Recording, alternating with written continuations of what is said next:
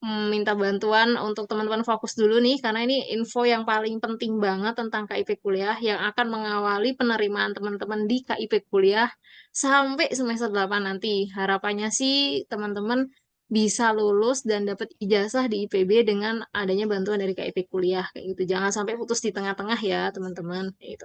Nah, kita akan bahas dulu tentang KIP-nya dulu. Apa sih KIP kuliah merdeka? Mungkin teman-teman sering dengar familiar orang selalu nyebut KIP, KIP, KIP gitu. Nah, tapi ini kok lebih panjang nih gitu. Ada KIP kuliah merdeka kayak gitu. Nah, apa sih KIP Kuliah Merdeka? Nah, saya akan berangkat dari nama programnya dulu, teman-teman. Programnya itu namanya PIP, Program Indonesia Pintar yang digagas berdasarkan Undang-Undang Nomor 12 Tahun 2012 tentang perguruan tinggi, di mana pemerintah Indonesia itu punya kewajiban untuk uh, memberikan kesempatan atau memberikan akses nih seluas-luasnya bagi masyarakat Indonesia untuk menuntut uh, pendidikan di perguruan tinggi.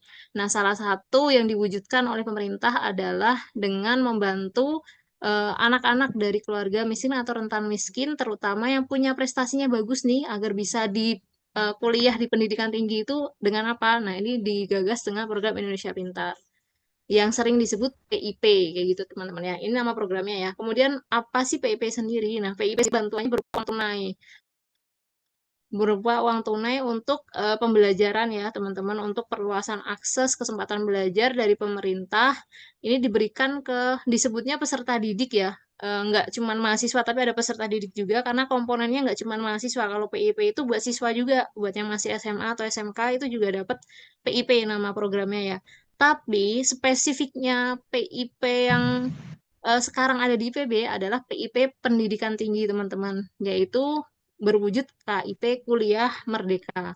Kalau yang masih di SMA itu dapat PIP juga tapi namanya adalah KIP, Kartu Indonesia Pintar Pendidikan di SMA aja gitu. Jadi disebutnya KIP karena sudah naik kelas menjadi uh, perguruan tinggi atau di uh, bangku kuliah disebutnya KIP kuliah gitu.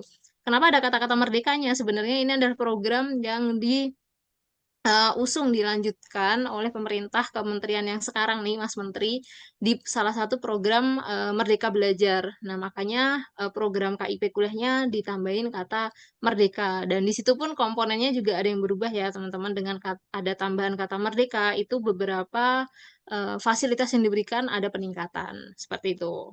Nah, berarti bisa disimpulkan kalau KIPK Merdeka yang sekarang teman-teman dapat ini nih di IPB yang baru pengumuman tadi. Sore banget ya baru setengah jam yang lalu apa apa satu jam yang lalu. Di bulan dan dan di Jumat berkah juga kayak gitu. Uh, buat teman-teman yang lolos ini merupakan salah satu bagian dari PIP gitu. Beda dengan KIP yang saya bagiannya ada PIP Merdeka. Nah, selain dua ini sebenarnya ada program-program lain yang masuk PIP, tapi saya akan fokus di yang KIP Merdeka aja, teman-teman. Nah, ini yang sekarang sedang teman-teman dapat kayak gitu. Oke, kita lanjut. Uh, sejarahnya itu gimana ya KIP uh, eh, KIP Kuliah Merdeka ini bisa ada? Sejarahnya sebenarnya dari 2010 itu sudah ada teman-teman, tapi namanya bidik misi mungkin pernah dengar bidik misi eh, apa yang dikeluarkan kalau dulu Kemendikbud eh, namanya Pak Muh menterinya waktu itu di tahun 2010 kemudian dijadikan suatu program nasional sehingga dilanjutkan bisa dilanjutkan di tahun ke tahun.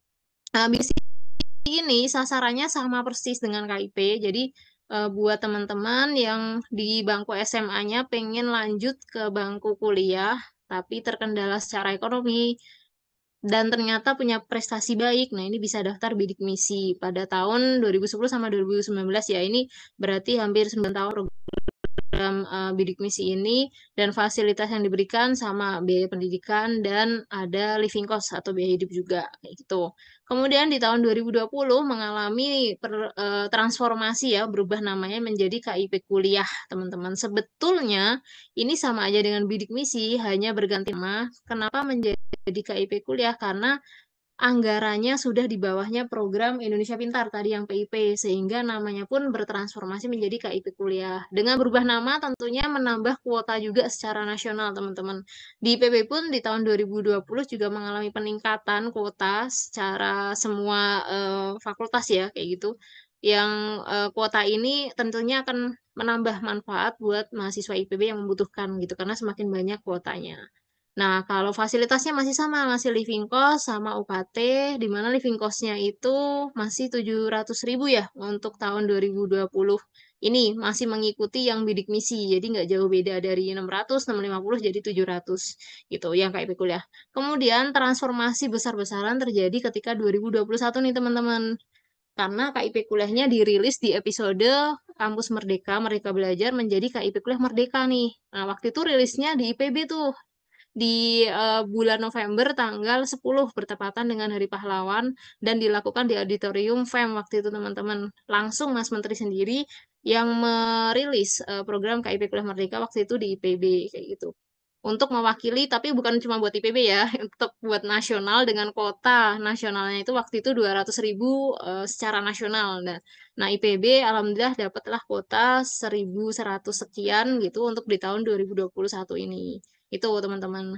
Kemudian 2022 masih sama uh, berlanjut ya KIP kuliah merdekanya masih dapat uang kuliah dan uh, biaya pendidikan juga gitu. Kemudian di tahun 2023 nih teman-teman karena uh, mungkin teman-teman sempat dengar ada uh, istilah kalau mungkin istilahnya di teman-teman adalah istilah KIP kuliah yang skema 1 dan skema 2 kayak gitu. Kalau di istilahnya umum memang seperti itu, tapi kalau secara di buku undang-undangnya kementeriannya, peraturan kementerian, kementerian itu eh, bahasanya bukan skema 1 atau skema 2, tapi bahasanya adalah KIP kuliah merdeka. Ya ini yang full dapatnya uang kuliah dan living cost. Tapi ada satu turunannya yaitu bantuan biaya bantuan biaya pendidikan atau BBP disingkatnya yang dapatnya adalah hanya uang kuliah waktu itu. Ini terjadi di 2023, berarti baru tahun kemarin banget teman-teman, di mana ada skema 1 dan skema 2 tadi.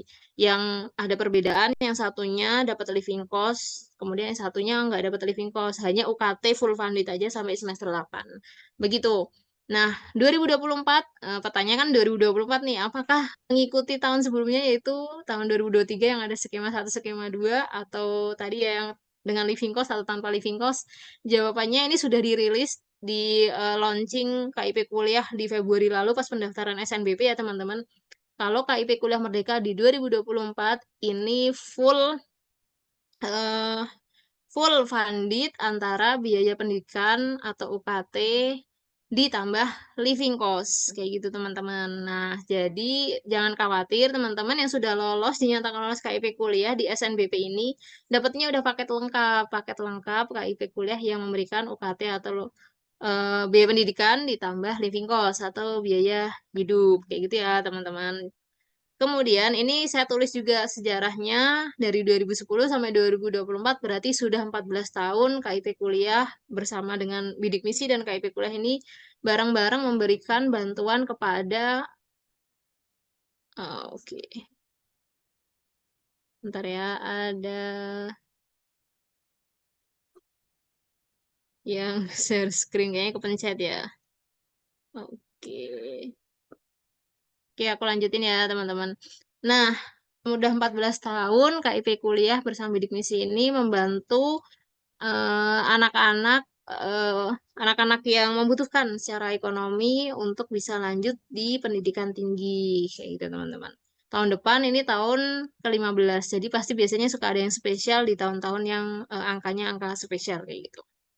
Tuh, terus kita lanjut ke kewajibannya apa aja sih? Oh ya, di-spill dulu. Enggak di-spill sih, dikasih tahu udah ini ya. Kalau kuota KIP kuliah IPB itu ada 1236. Makanya cantik ya teman-teman, 1, 2, 3, 6. Kayak gitu ya. Jadi kuota IPB untuk KIP kuliah merdekanya itu ada 1236. Ini untuk semua jalur ya teman-teman. Semua jalur itu artinya SNBP, SNBT, dan jalur mandiri. Kalau jalur mandiri di IPB itu ada yang unik teman-teman karena jalur mandirinya itu ada jalur ketua dan jalur PIN prestasi internasional dan nasional kayak gitu. Jadi nanti akan dibagi kuota 1236 ini untuk semua jalur. Sejauh ini 1236 sudah terpakai untuk SNBP ya. SNBP itu yang lolos ada 680 mahasiswa SNBP yang lolos jadi penerima KIP kuliah. Jadi udah setengahnya nih gitu, tinggal setengah lagi yang akan didistribusikan ke jalur-jalur yang lainnya. Atau mungkin ada beberapa anak-anak SNBP nih yang belum Sinkronisasi kemarin di SNBP dan KIPK itu dipersilahkan nanti kalau masih ada kuota di akhir di bulan Juli itu akan di, boleh daftar ikut seleksi KIP kuliah yang susulannya kayak gitu. Kalau masih ada kuota dan uh, ini ya teman-teman masih berminat di KIP kuliahnya karena khawatirnya udah nggak berminat karena mungkin udah dapat yang lain beasiswa yang lain gitu karena saking banyak beasiswa nih di IPB gitu. Terus haknya dulu deh sebelum kewajiban saya sampaikan haknya dulu penerima KIP kuliah Merdeka di IPB itu apa aja. Yang pertama banget pasti teman-teman dapat bantuan biaya pendidikan atau UKT. Jadi pasti saya bisa pastikan di surat tagihan UKT teman-teman itu UKT-nya udah nggak muncul, bener nggak?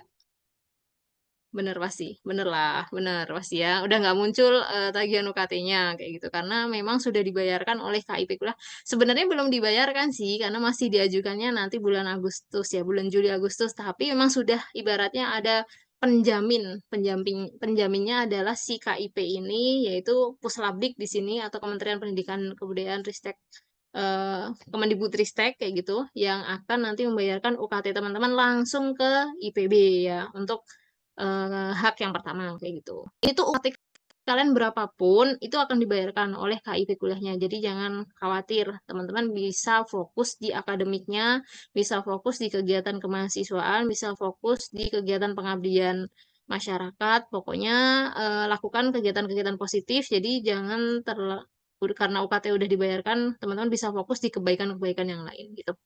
Yang kedua, itu biaya hidup, teman-teman. Kalau di IPB, biaya hidup yang didapatkan anak KIP kuliah itu 1,1 juta per bulan. Ini diberikannya nanti per September ya, teman-teman. Jadi hitungannya itu per September. Nanti cairnya ini per semester nih. Per semester itu adalah per 6 bulan yang dihitung dari September, Oktober, November, Desember, Januari, Februari kayak gitu. Jadi nanti bakal ada uh, pengajuan pencairan uh, di bu untuk bulan September sampai dengan bulan Februari ya teman-teman kayak gitu untuk biaya hidup. Nah, kalau teman-teman menemukan atau punya teman deket yang di kampus lain, kok mereka nggak 1,1, bisa jadi 1,4 atau 1,50 atau 1,25.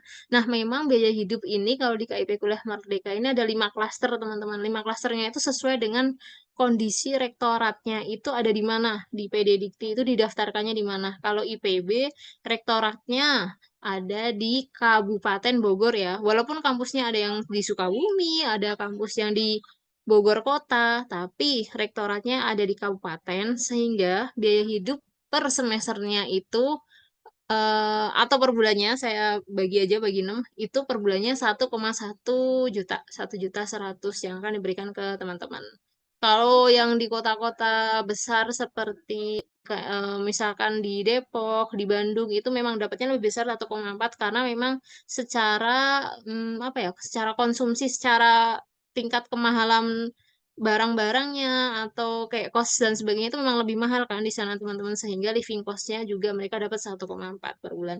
Tapi kayak kota-kota daerah yang misalkan masih kayak Karawang Sukabumi itu kemungkinan dapatnya yang uh, kategori satu yang 850 per bulan karena tadi mengikuti kemahalan indeks di daerahnya masing-masing gitu yang ketiga, nah ini cuma ada di IPB ya teman-teman, jadi nggak bisa dibandingin dengan kampus lain gitu.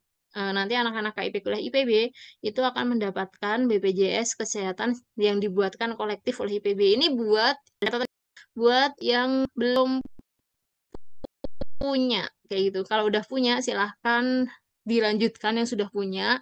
Kemudian yang belum punya aja yang akan dibuatkan secara gratis. Gimana biar bisa terdaftar di BPJS kesehatan yang kolektif dibikin IPB. Nah, nanti teman-teman akan ada pemutakhiran data teman-teman sudah nih daftar BPJS kolektif yang diadakan oleh IPB biasanya di bulan Oktober nah, kayak gitu pas sudah masuk semuanya bareng mahasiswa reguler nah silahkan teman-teman nanti daftar di uh, eh, BPJS kesehatan yang ada di IPB ya kayak gitu. Nah ini nanti akan dibayarkan oleh eh, IPB nanti basicnya adalah NIK jadi kalau udah punya memang pasti kedetek tuh karena NIK-nya pasti udah punya BPJS gitu teman-teman. Terus yang berikutnya itu prioritas tinggal di asrama nih anak KIP kuliah. Tapi cuma S1 ya, kalau yang vokasi atau Sukabumi mohon maaf belum ada prioritas tinggal di asrama karena memang posisinya belum ada asrama di situ gitu. uh, tapi mohon didoakan ya teman-teman semoga segera dibangun asrama biar bisa nanti uh, mahasiswa-mahasiswa tingkat satu itu masuk ke asrama yang disediakan. Gitu. Sementara baru asrama PPKU Putra dan asrama PPKU Putri yang bisa ditinggali oleh teman-teman tingkat satu. Oke, lanjut ke hak yang berikutnya akan didapat adalah pendampingan atau pembinaan. Nah, ini nanti bersama dengan Galaksi nih, teman-teman. Nanti akan ada program-program yang mendampingi teman-teman, yang bagus buat meningkatkan soft skill teman-teman selama berkuliah di IPB. Jadi, jangan sampai uh, kompetensi itu cuma dapatnya akademik di transkrip nilai yang IPK aja, tapi pastikan kalian dapat kemampuan-kemampuan soft skill soft skill lain, kompetensi yang yang bisa dukung teman-teman nanti bagus gitu. Walaupun masih jauh sih sekarang baru tingkat satu belum bikin pasca kampus, tapi saya informasikan dulu biar nanti prepare gitu kan, prepare biar pas sudah lulus pasca kampusnya menyenangkan gitu, tidak bingung-bingung mencari pekerjaan gitu teman-teman. Oke, yang terakhir itu nanti akan dibuatkan kolektif rekening beasiswa KIP kuliah di IPB. Jadi teman-teman nggak perlu bikin rekening sendiri-sendiri untuk beasiswa karena nanti udah akan dibikinkan langsung oleh IPB. Paling nanti ada beberapa formulir yang harus teman-teman isi untuk dapat uh, buku rekening secara kolektif ini kayak gitu teman-teman. Nah, nanti rekening ini akan digunakan untuk penyaluran beasiswa uh, KIP kuliah yang biaya hidup ya. Kalau UKT ini langsung ditransfer ke IPB ya teman-teman. Jadi udah dibayarkan ke IPB langsung. Kalau biaya hidup ini yang bakal masuk ke rekeningnya mahasiswa langsung.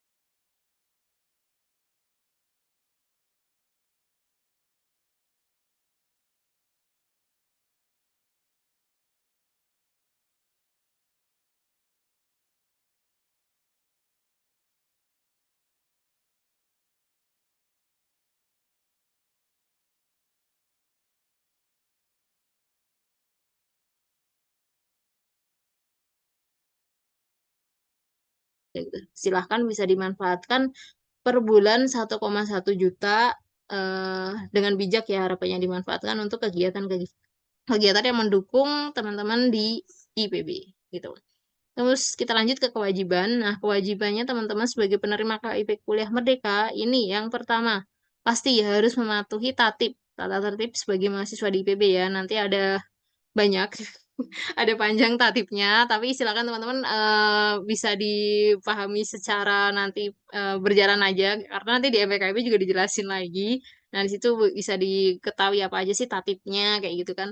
Apa aja yang boleh, apa aja yang nggak boleh, kayak gitu. Terus, status mahasiswanya teman-teman di IPB wajib aktif, karena kalau nggak aktif nggak bisa nih diajukan ke pencairan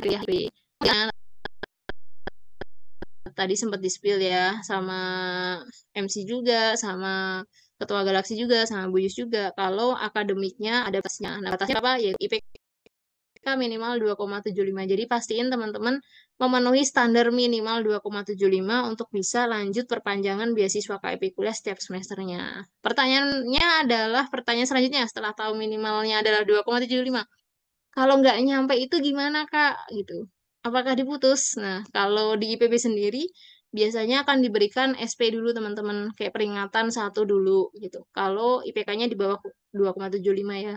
Kemudian kita akan gali ada kendala apa, kenapa di bawah 2,75 gitu.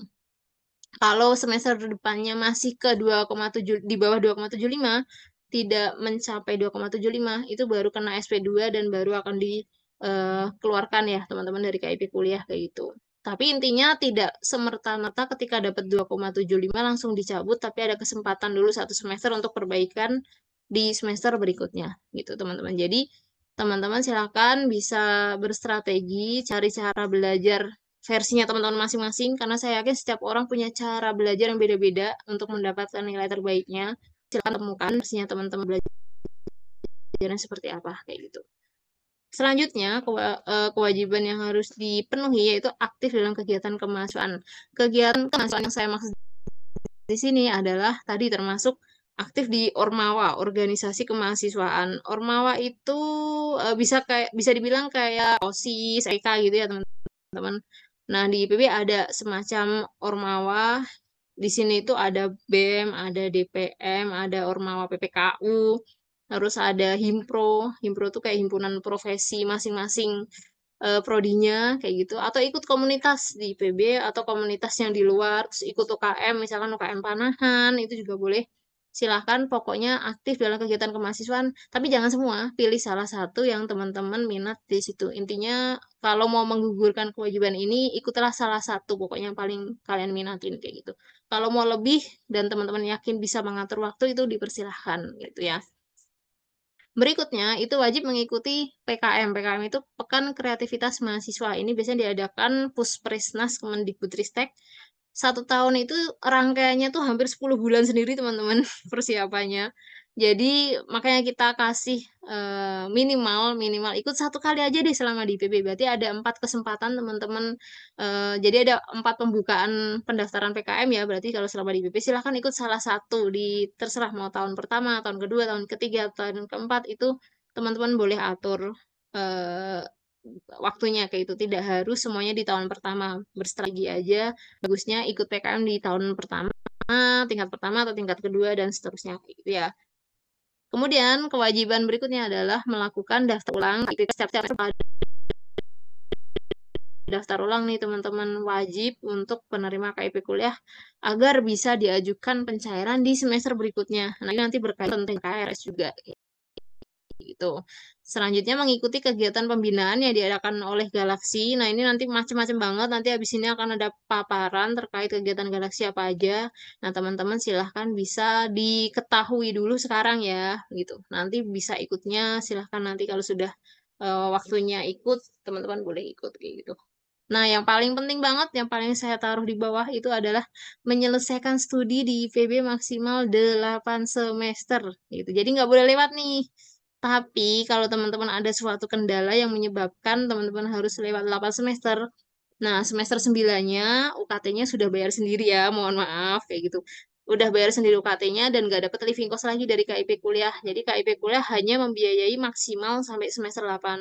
Jadi kalau teman-teman pengen beneran kuliah gratis uh, di IPB sampai lulus, ya itu lulusnya harus di semester 8 atau sebelumnya. Nah itu betulan nggak akan bayar UKT sama sekali. Nah nanti silahkan uh, diatur aja tadi